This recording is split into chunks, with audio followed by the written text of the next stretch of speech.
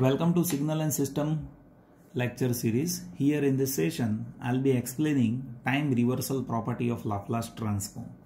So let us define this time reversal property first and then I'll derive that property step by step. So if we have signal x of t and if you take Laplace transform of that signal and that is x of s then we can say time reversal that will be x of minus t and Laplace transform of that has to be minus of x of minus s. So let us derive this property step by step.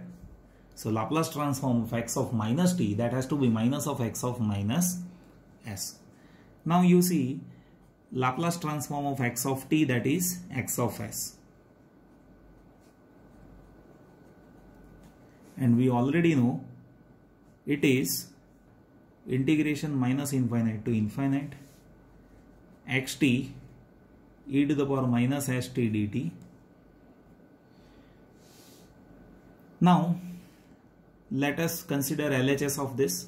So Laplace transform of x of minus t that has to be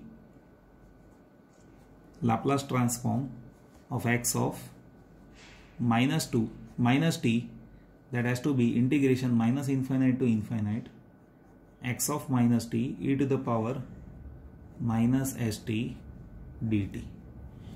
Now if I consider x of minus t as constant lambda then x of minus t so here minus t is equals to lambda so in that case we can say t is equals to minus lambda and we can say dt is equals to minus d lambda. So just place all those things in this formula.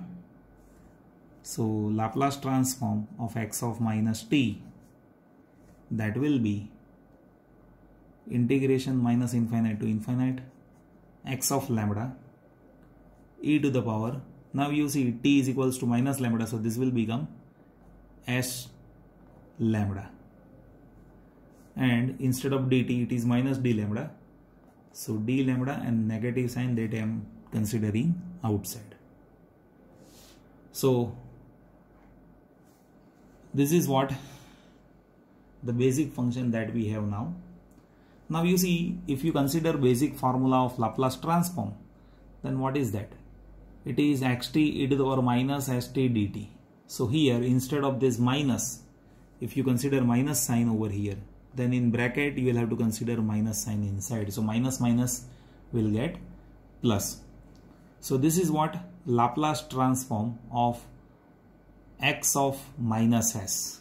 So we can say this is what minus sign over here into x of minus s as you can see minus s that is there over here instead of this right so Laplace transform of x of minus t that is minus of x of minus s.